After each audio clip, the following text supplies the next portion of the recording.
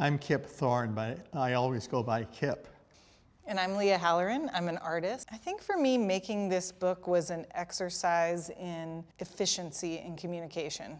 Usually, when you're reading about science and you see a visualization, it is very specifically a diagram.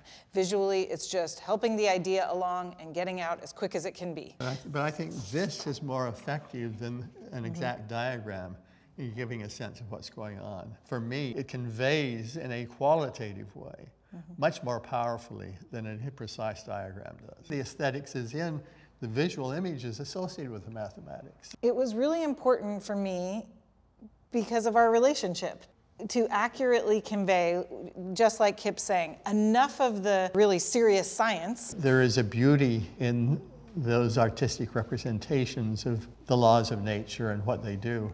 Because it's much- like the feeling of it. You can get like twisted up in it. Yeah.